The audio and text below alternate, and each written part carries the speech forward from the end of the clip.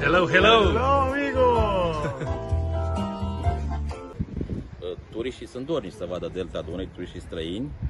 Spre exemplu, la nava aceasta, care se numește Nestroi, avionul Elveția, sunt 177 de, de turiști, majoritatea austrieci, dar sunt câțiva, și, câțiva elvețieni, americani. Nava din portul Turcesc se va îndrepta către portul Sulina, unde vom avea un tur de, de oraș, da?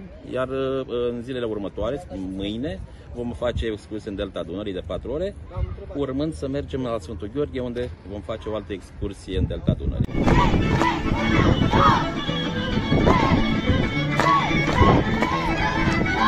Astăzi, prima navă cu peste 170 de turiști a acostat și a plecat în momentul de față către Sulina, către Sfântul Gheorghe, dovadă că se poate și că puțin curaj și poate o mai bună informare nu strică pentru dezvoltarea turismului în general și în mod special la noi aici la Tulcea, pentru că avem nevoie ca lumea să înțeleagă că este liniște, Delta este uh, o frumusețe care merită văzută și că noi tulcenii încercăm să oferim tot ceea ce putem ca turistul să se simtă foarte bine.